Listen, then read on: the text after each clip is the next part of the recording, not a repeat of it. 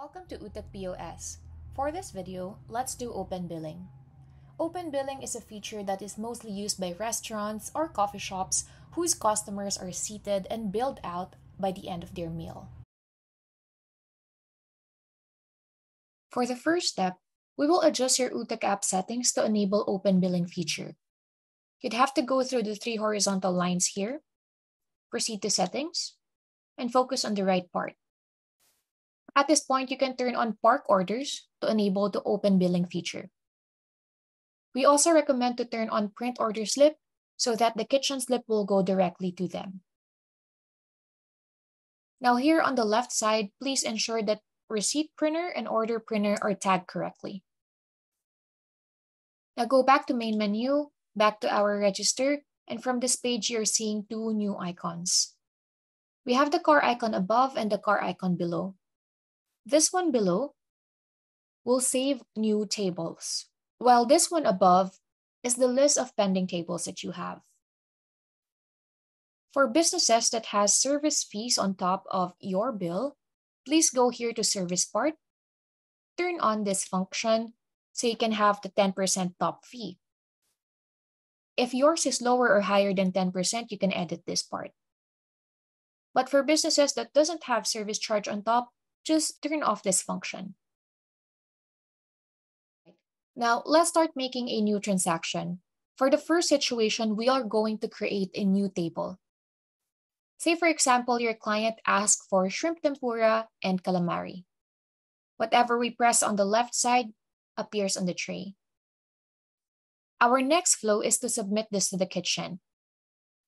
We'll go to print, tag this as takeout or dine in, and then here in kitchen note, you will input for whom is this table or for whom is this order. We can type table number five, for example, and then we can click on print order. When print order is pressed, the printer will print out the list of items to be prepared and for mm-hmm. whom this order is for. After which, you can now press on the car icon below to save this bill. Once again, the system will just ask again for whom is this table? Just input that T5 and then save. Now we have a pending table. Exit that view and create new tables as necessary. Now let's review the flow we just did. We can use the acronym OPS, where you take the order, print the order, and save the order. Saving is the most necessary part as this is the part where you create new tables, where you add tables. Now for the second situation, say for example, that table number five raised their hand and said, oh, we're not taking calamari anymore. We'd have to do voiding. To void, let's go here to our park icon above. This is the list of tables that we have.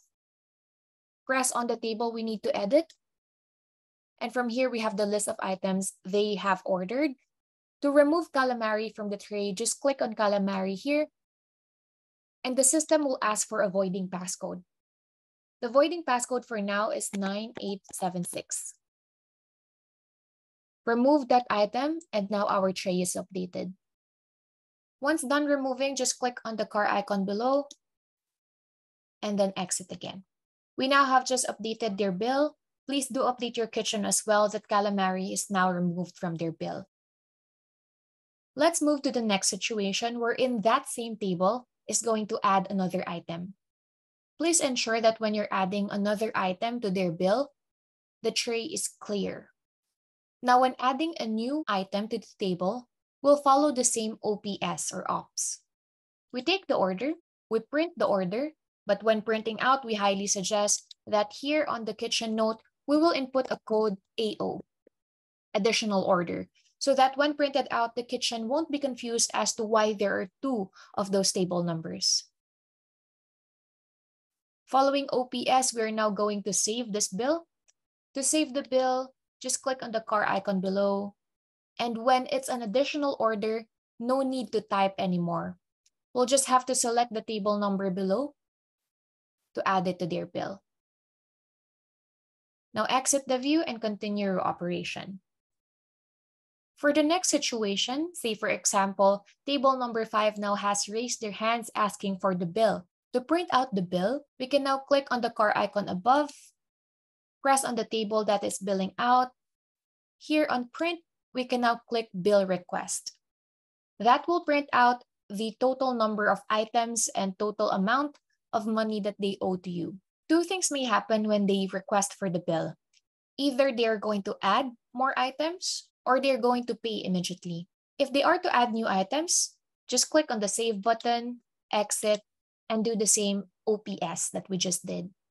But if they are paying, you can just wait here, wait for the payment of 1,250. And once your server has delivered you exactly 1,250, you may now press on Charge button to close the bill. And that's how we can process an order when it's an open bill. You can now click on Print Receipt to give your customer the final receipt. Other things that you might need to know if you have the open billing feature. First is renaming the table. Say, for example, this is order for table number three.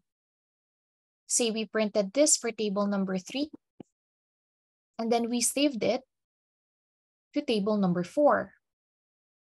Given this situation, we'd have to edit table number four. In that case, just click on the table. And here above on the park tag, we can just edit it, T3, and then just click on save again. And now we have table three. Now for the next situation, if we'd ever need to void the entire table, say for example, they changed their mind, they don't want to proceed with their order anymore, just click on the car icon above. This table we just have to swipe to the left and it will ask for the voiding passcode of the manager. Again, that's 9876. And now it's gone from your open bill. And that's how you can process orders when you have an open billing feature. If you have any questions or clarifications, please reach out to our Facebook group chat. Happy selling!